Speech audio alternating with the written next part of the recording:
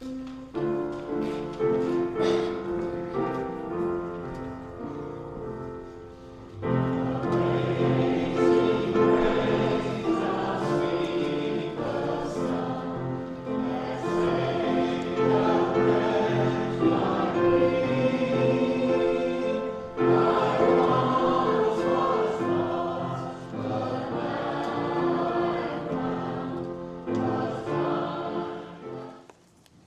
text this morning is 1 Corinthians chapter 1, verses 1 through 9.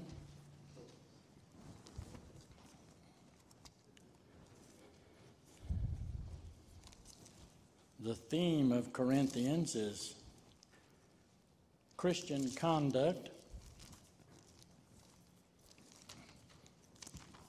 I want to read verses 1 through 9 of 1 Corinthians chapter 1.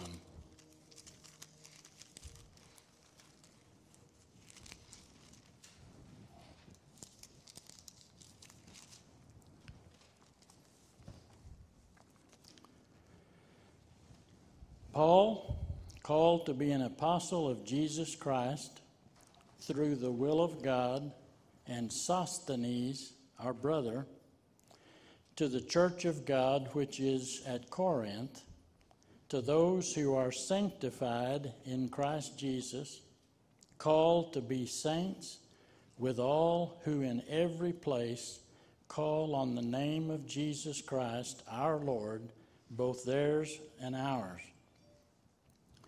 Grace to you and peace from God our Father and the Lord Jesus Christ.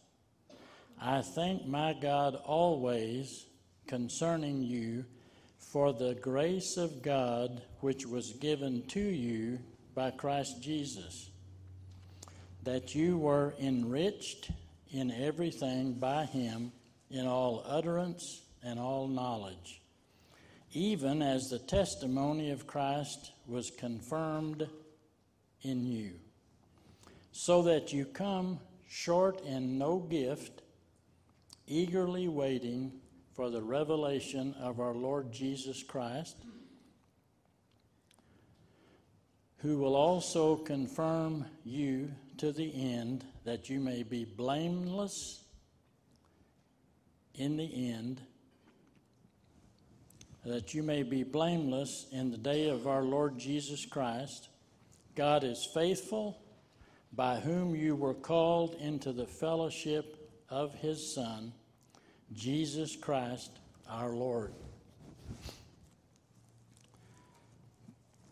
Paul wrote Corinthians, I believe, on his third missionary journey. Uh, some point during that time, the church at Corinth, he had pastored for about a year and a half, I believe and then he moved on to another place. And when he had been at the other place a while, he had heard that that there was some stuff happening in Corinth that was not right and not pleasing to the Lord. So he wrote this specifically to the church at Corinth for the the church there, the the assembly of believers. And it has very much to do with Christian conduct. Uh, Paul knew the church because he had pastored, so he knew at some point that things was going a certain way, and then he got word that there was a lot of stuff going on that was not pleasing to God and to the testimony of our Lord. So he wrote this to them.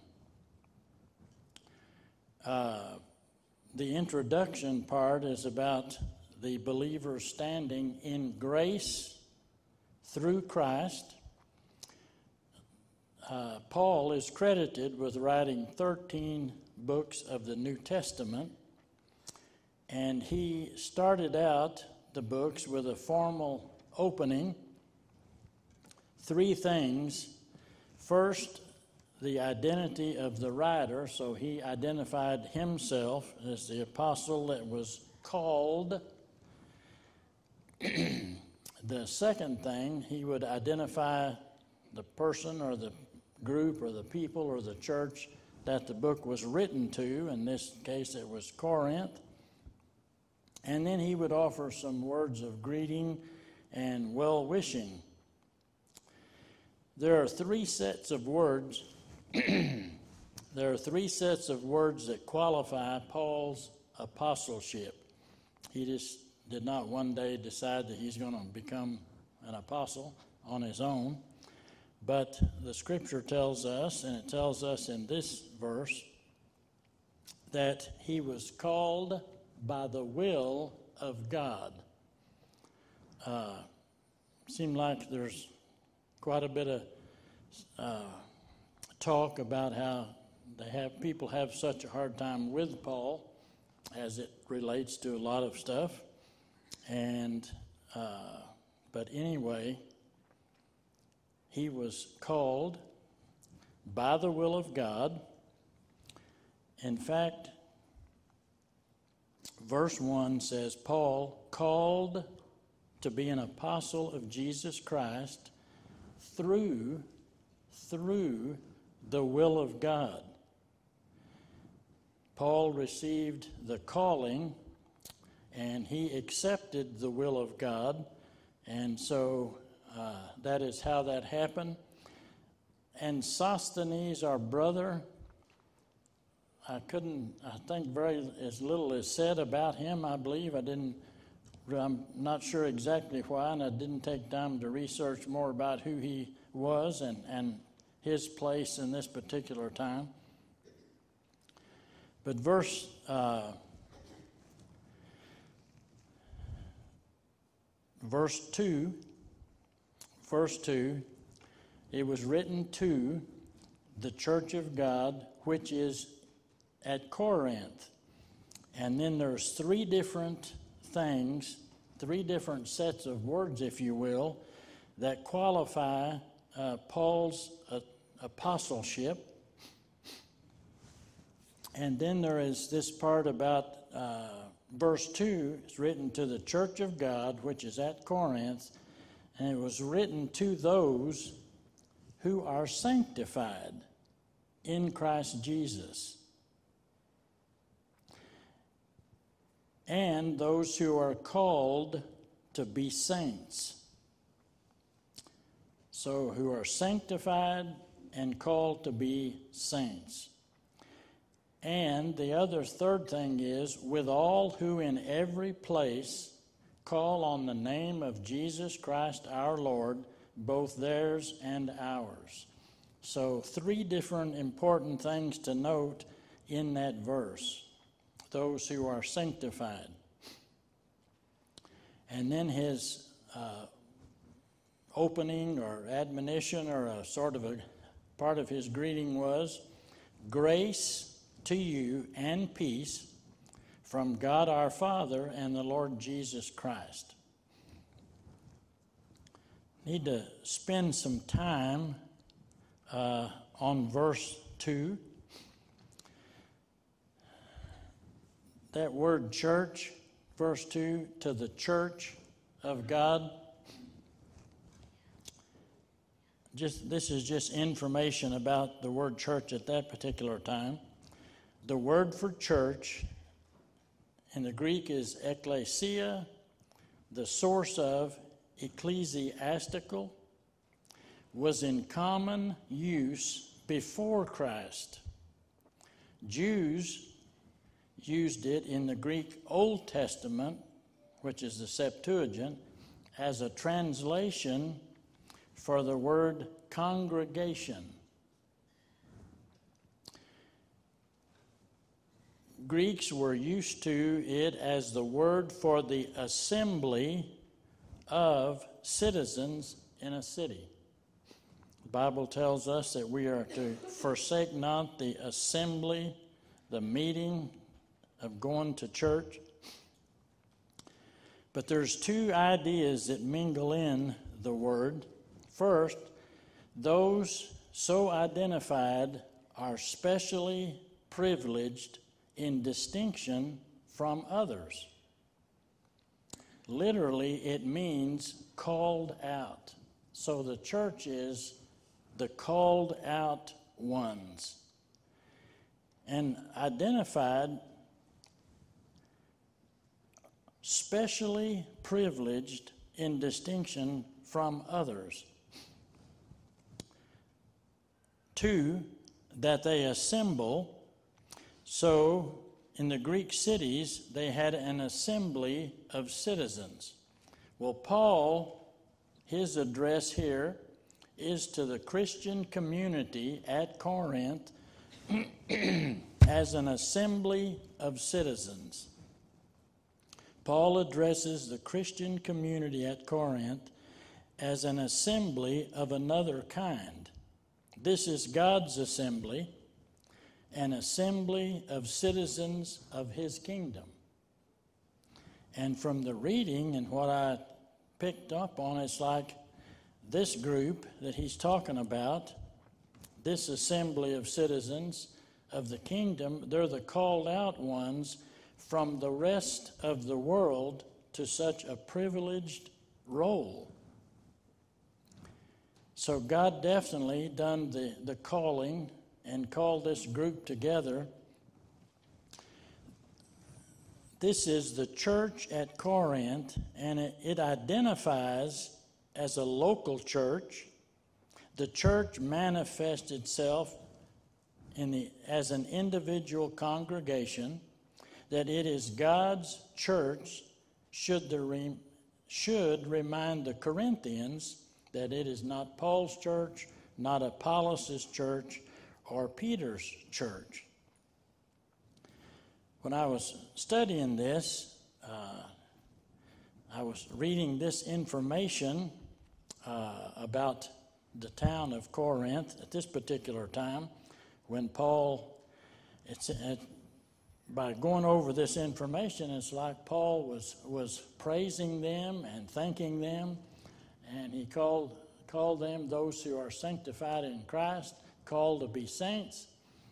And then another thing that was happening at the same time was Corinth at that time was a corrupt city, and the people in the church came out of that congregation. Think about the trouble they were making, the sins they were indulging in, Imagine yourself in a position of responsibility over them. Would you feel like giving thanks? Well, it says Paul did. The secret of his eager, spontaneous thanksgiving was not in the Corinthians themselves, but in this. He said, I thank God for your lives of free and open access to God given by Christ Jesus. Verse 4.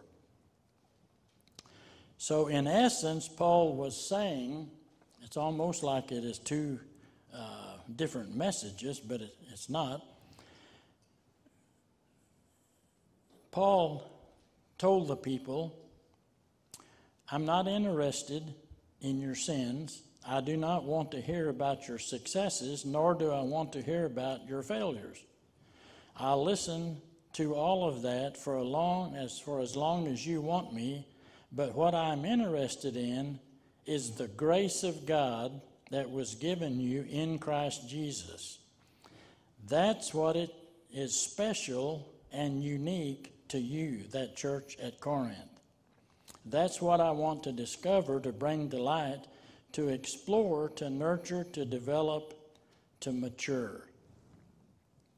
So Paul was willing to not concentrate and not focus on all of the other stuff that was going on and uh, the uh, the stuff that they had been involved in. He wanted to focus on the fact that, well, verse 2 says, he addresses them and he's talking about them and he says, To those who are sanctified in Christ Jesus. Sanctified is set apart, set apart for holiness. And he said, I don't necessarily want to hear about that, but I want to foc- you all to focus in on the fact that you were sanctified in Christ Jesus, called to be saints, which is to live a holy life, with all who in every place call on the name of Jesus Christ our Lord, both theirs and ours. So, not only the church at Corinth, but Christians everywhere. They were supposed to associate with them and not focus on the past. I was in a, a, group one time at a at a, uh, a revival meeting, and uh, there was a time where this one professor said, uh, We're going to have a time of, of people giving their testimony. And so people started standing up and they was telling uh, what they was praising the Lord for and what was brought to their mind and how they feel changed and they're going to do better and all this stuff. And one particular person, he, he started naming stuff that he had become involved in. And Dr. L.C. said, No, no, no, no, no. He said, Stop. He said, I, I don't want to hear. He said, You don't have to list all of the stuff that you were involved in. Basically, I said, I'm not the one who can forgive you that. You need to talk to the Lord about that, seek His forgiveness. None of us here needs to hear about that. Sort of it's, it's between you and God. What we want to focus on today in this meeting is that you are a Christian, so you are sanctified in God by Christ. You are set apart to live a holy, clean life. So he sort of changed the focus of the testimony meeting. And then people started thanking God and praising God that they could go to him and talk to him and ask for forgiveness and for healing and that God would keep his hand on their lives. And it was a, a total change, a total turnaround. I thought about this when I was uh, studying this. Seemed like to me that almost the identical thing happened here in 1 Corinthians, starting out in 1 Corinthians.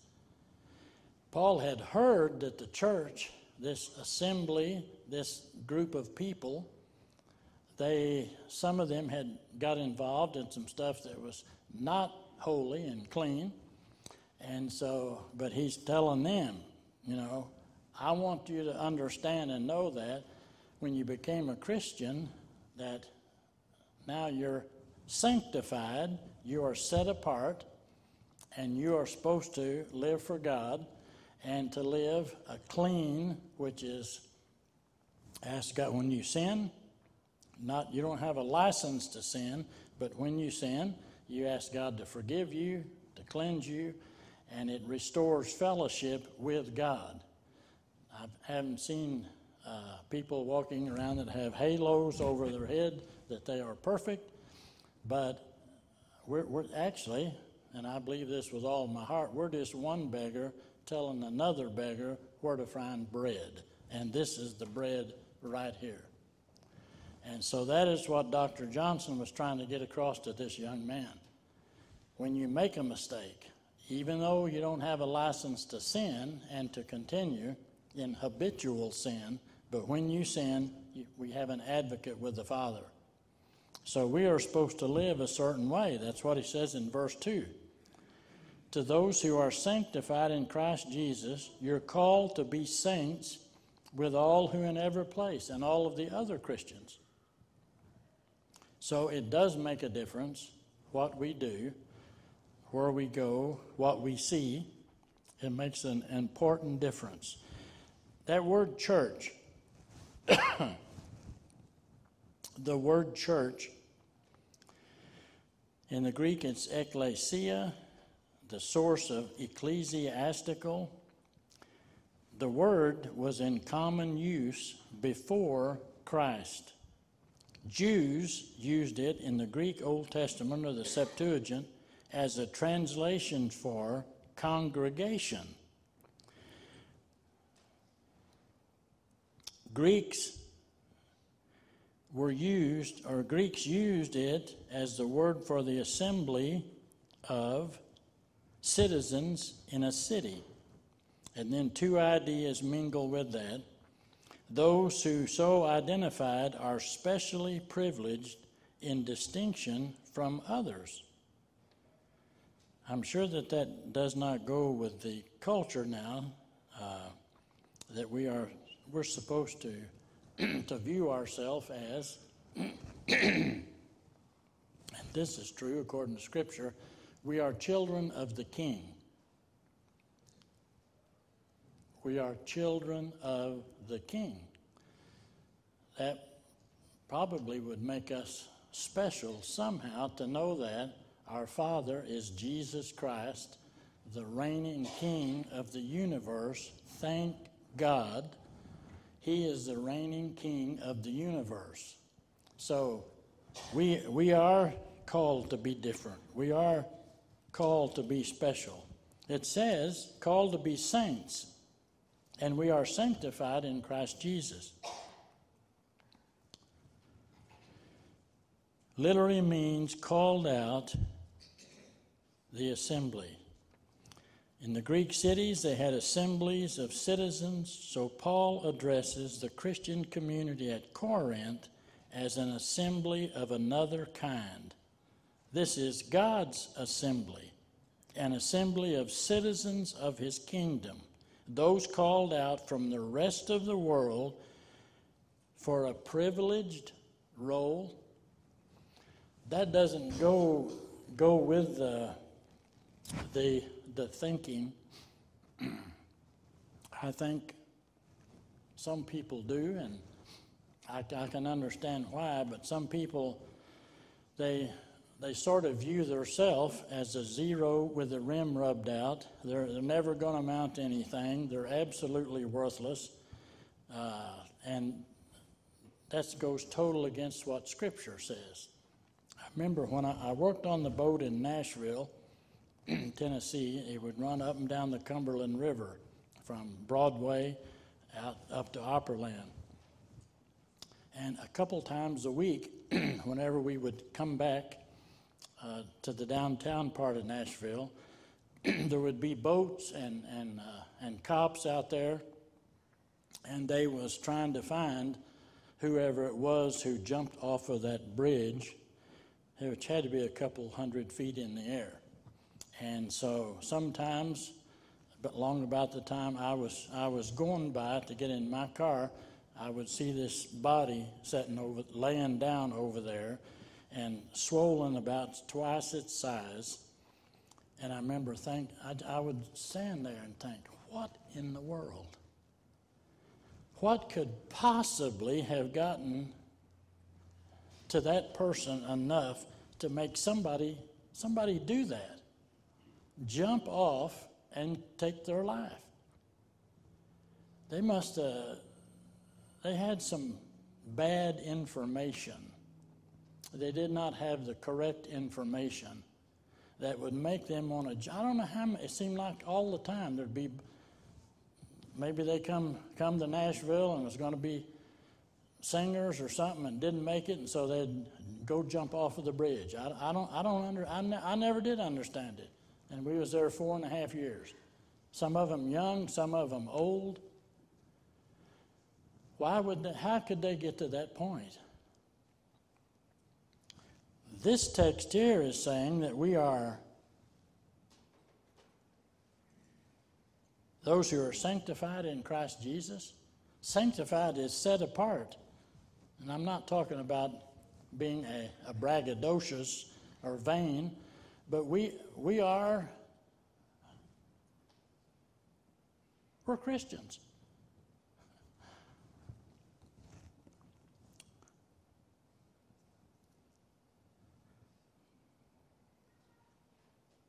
Those called out from the rest of the world to such a privileged role.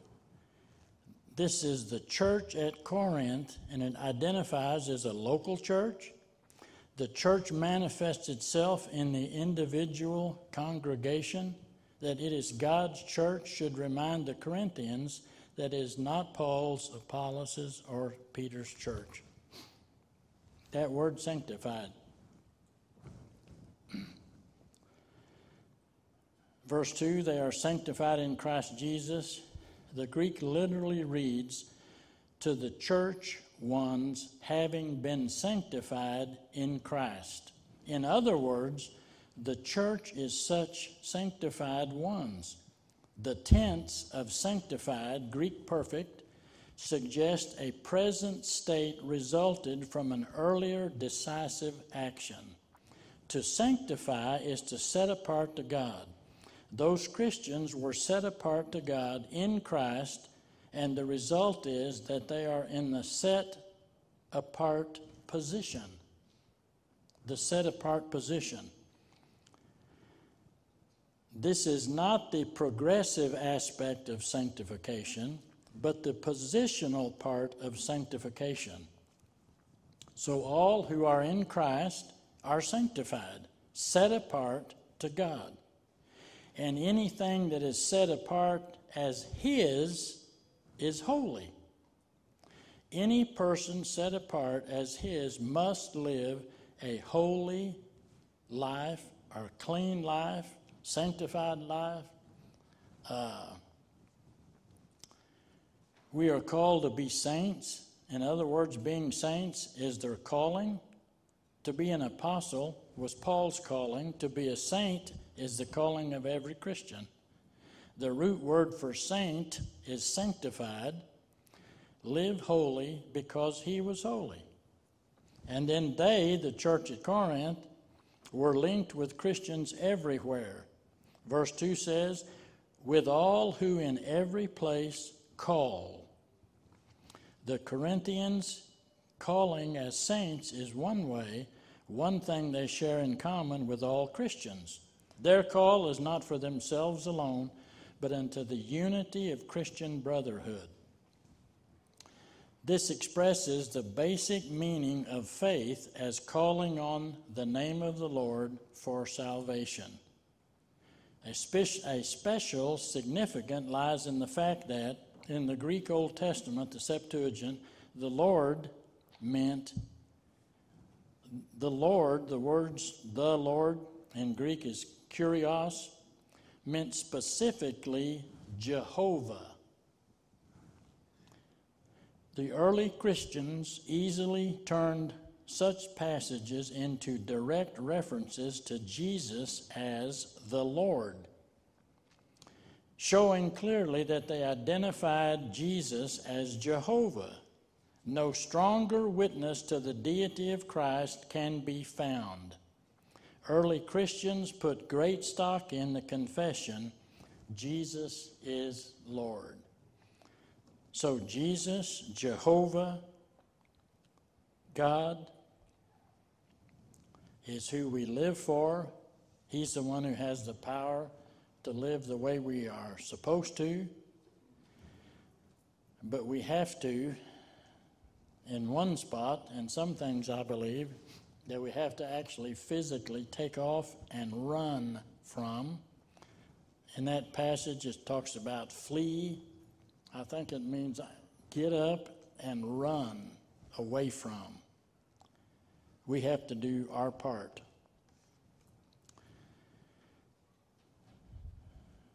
Uh, God is faithful. Verse 9 God is faithful, by whom you were called into the fellowship of his Son, Jesus Christ our Lord. And then there's some things in 8 and 9 that talks about how believers are to stand blameless before God at the second coming judgment. So there's a part in his in here about eschatology and how what what we are supposed to be doing should the Lord come back for the second time. Where are we going to be at and what are we going to be doing whenever he comes? But that'll have to be for another time. Stand with me if you will.